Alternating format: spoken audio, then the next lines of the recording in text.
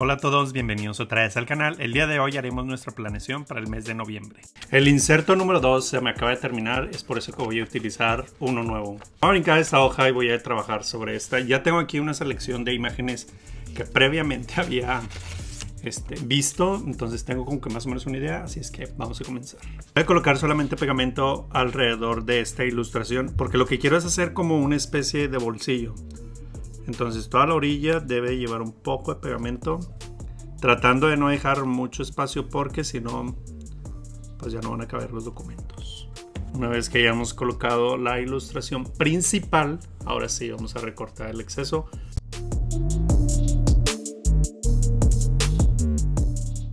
Vamos a esperar a que seque un poco y en esta parte ahora sí vamos a poder colocar algunos documentos. Yo quiero colocar este aquí. Principalmente una para que sea como más estético, pero también siempre me falta espacio para escribir en la planeación mensual. Entonces creo que queda bastante bien. Ya había elegido como que esta gama, entonces me gustó mucho cómo queda como que esta parte. Entonces voy a colocarle también este que en mis historias de Instagram les compartí dónde lo estaba haciendo porque este lo hice en un restaurante, me fui a hacer journaling afuera. Por mis historias de Instagram les comparto muchas ideas, tips, marcas y todo lo que sea necesario o enfocado a journaling y caligrafía. Este sí lo voy a pegar con pegamento en cinta ya que suele ser un poco más limpio y este es permanente entonces vamos a colocarle un poco en esta parte. Ya que tiene todo el pegamento, ahora sí procedemos a colocarlo. Lo voy a colocar... Mm, no sé si tan eh, como que esquinado en esta parte o en medio. No, yo creo que en medio para que se vea más estético. Y lo pegamos. Esta parte nos va a ayudar mucho para escribir. Este es un edificio arquitectónico, este fondo, que está en la ciudad de Monterrey. Entonces, aquí voy a escribir un poco sobre este personaje histórico.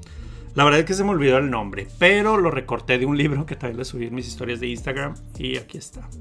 Solamente que le di un acabado mate. Ya que tenemos esto, voy a colocar un poco de washi tape en esta parte, pero como estoy haciendo un juego de colores, tipografías y demás, voy a utilizar este que es de nuestra marca. Esta cinta la encuentras en letterliterales.com y es de las más recientes que hemos sacado. La verdad es que esta es una de mis favoritas para este tipo de trabajos, sobre todo cuando es una mezcla así de tipografías. Voy a recortar un poquito esto porque pues aquí está. Este, lo que yo quiero recalcar o destacar es esta parte aquí. Lo coloco solamente en la parte superior y voy a cortar el exceso. Ahora para que se vea un poquito más limpio y escondido y no se vea como que el corte de la cinta, puedes como que abrir la libreta no sé si se alcanza a ver ahí, la abres y metes la washi tape, entonces ya queda como que más limpio y no queda el corte. Ok, ya tenemos como que esta primera parte, me, está gustando, me está gustando cómo está quedando. Y después, aquí tengo algunos como libros de stickers. Sinceramente, de esto sí no tengo idea de cómo lo quiero colocar. Tengo unos timbres postales que me encantaría como que colocarlos aquí. O este también. Quisiera como que aquí un letrerito como este. Pero, a ver, vamos a buscar qué encontramos. Yo creo que este verde va bastante bien, quedaría muy muy bien. Entonces vamos a retirarlo un poquito. Yo creo que este pino. Sí, definitivamente me gustó.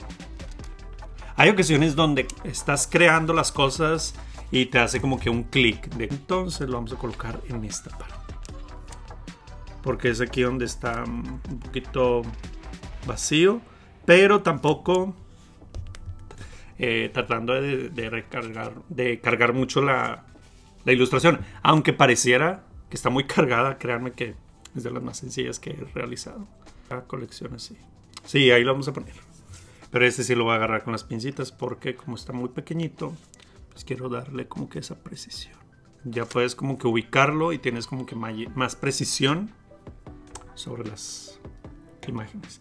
Ahora bien, ya que tenemos esto, voy a colocar un poco de sellos, porque siempre son importantes los sellos.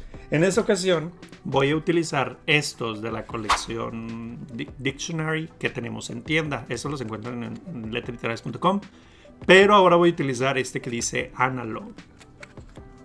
y lo voy a colocar en esta parte de aquí.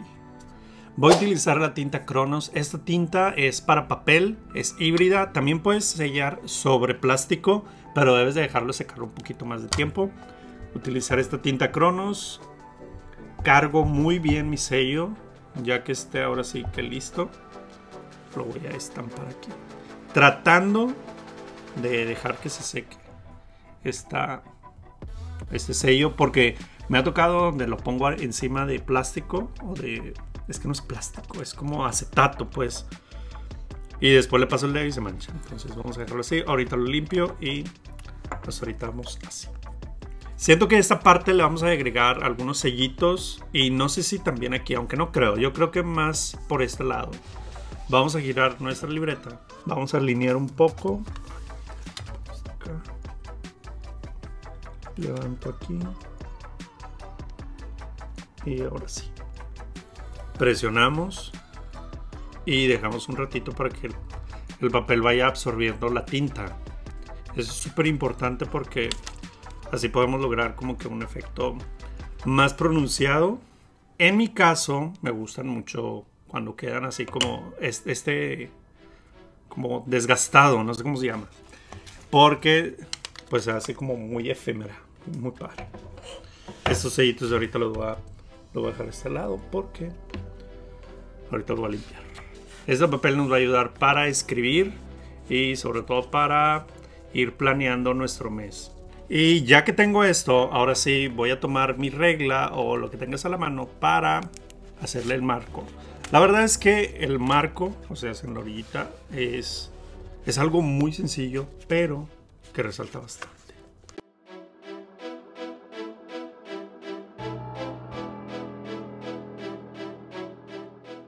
Con mi lápiz me voy a guiar para escribir aquí los días de la semana. Si nos falta espacio, que es lo más seguro, podemos utilizar los documentos o los papelitos que vayamos agregando aquí.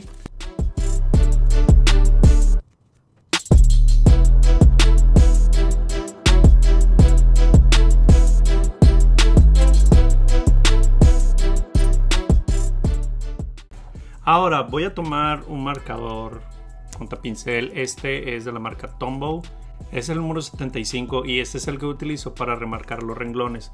Créanme que es algo también muy sencillito como el marco, pero que resalta muchísimo. Y me voy a ir un renglón sí, uno no, uno sí, uno no.